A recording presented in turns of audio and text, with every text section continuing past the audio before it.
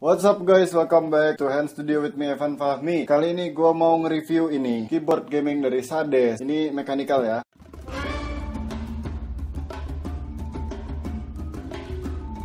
Pertama kita langsung lihat aja Apa yang kita dapat dalam paket penjualan. Ini bukan unboxing ya, ini karena udah dibuka dan keyboardnya udah dicoba.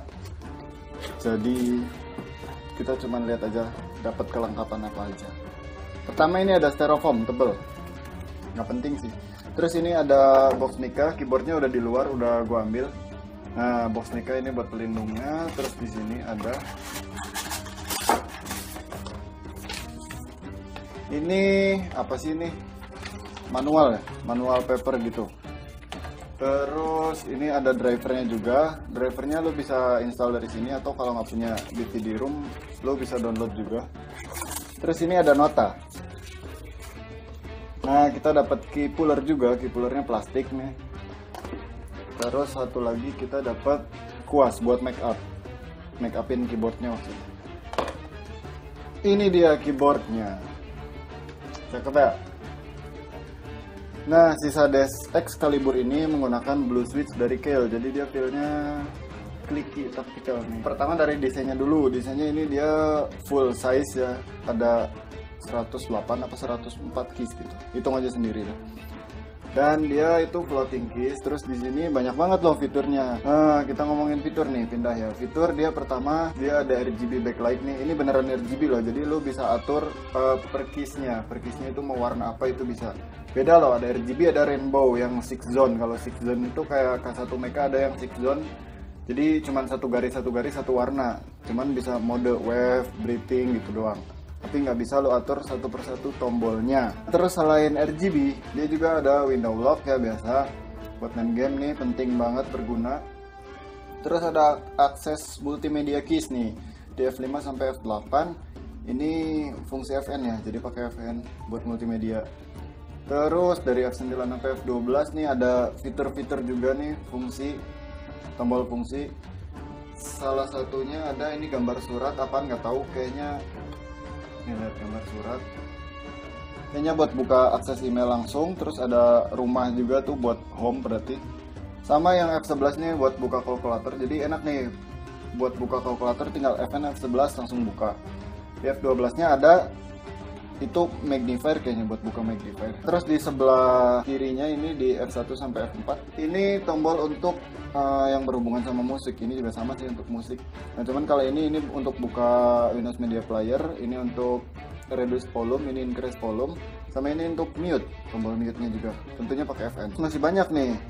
Uh, di sini juga kita bisa namanya apa ya? Uh, on air, on air change mode. Ya gitulah pokoknya. Jadi ganti-ganti mode cuman pakai fungsi FN jadi ini banyak banget loh. Serius.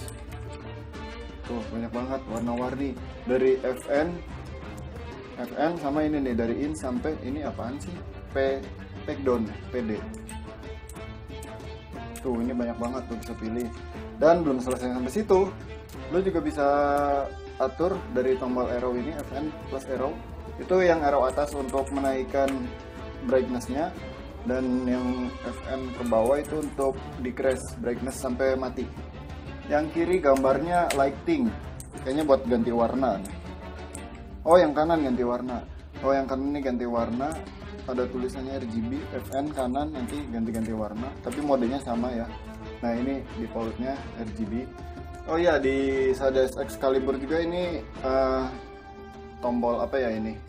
Namanya toggle ya si toggle-nya ini LED-nya lampunya indikatornya itu misah ya. Ada tombol-tombol di sini. Kalau di DA Mecha Z kan itu cuma di tombolnya aja berubah jadi warna merah. Jadi ini lebih asik sih lebih kelihatan. Jadi nggak ganggu kalau lo custom custom si LED-nya Oh iya ada yang kelewat nih tentang desain. Ah desainnya dia tadi udah ya floating case. Terus ini atasnya nih dia aluminium ya. Dan teksturnya itu aluminium brush jadi ya cakep sih ini. Kabar cakep banget. Nah terus dia kabelnya juga udah dapet yang braided dan USB nya gold plate kabelnya itu gue nggak tahu persis panjangnya tapi kayaknya satu setengah meter ada. Bagian belakang kita biasa dapat keyboard kitnya ini yang bisa dilipat dan ada karetnya ini ada dilapisi karet di bagian bawahnya juga. Untuk klaim ketahanan si mechanical keyboard ini uh, Kel mengklaim ini sanggup mengklik sampai 80 juta kali klik ini mantap banget. Ya itu klaim sih cuman harusnya sesuai. Itu berarti keyboard ini tangguh loh bisa dipakai sampai bertahun-tahun. Ini jangka panjang. Nah keyboard ini juga resmi dari Sades jadi dapat garansi satu tahun. Nah untuk harga harganya sendiri ini di 600 ribuan saja. Jadi ini best value banget value for money banget lo dengan budget segitu under sejuta bahkan jauh di bawah sejuta lo bisa dapat mechanical keyboard dapat garansi satu tahun distributor yang jelas fiturnya banyak ada RGB ada makro ada macam-macam deh. Dan ini switchnya enak. Bagi kalian yang suka tactical feel dan klikinya itu kayak di Razer yang green switch atau di Cherry MX yang blue juga pokoknya yang blue switch ya. Ini mantap bang. Mau tahu gimana suaranya? Ini ya cek soundnya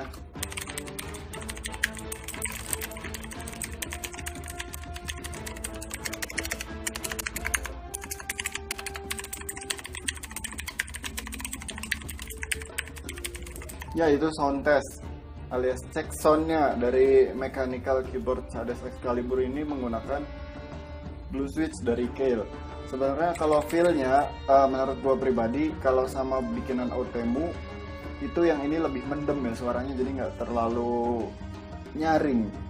Sama Razer yang green juga ini lebih kalem lagi lebih mendem gitu dan force lebih berat sekitar 5 gram dari yang blue switchnya Siri MX atau Temu atau Gateron atau Razer Green lah. Oke okay guys, sekian review dari gua. Uh, kesimpulannya kalau lo cari mechanical keyboard under 1 juta bahkan jauh di bawah 1 juta dengan banyak fitur build quality yang oke okay, dan juga dia pakai mechanical blue ya. Tentunya nyari yang tactical feel dan kliknya itu dapat banget. Sekian review dari gua Evan Fahmi bersama Hand Studio. Sampai ketemu di video selanjutnya.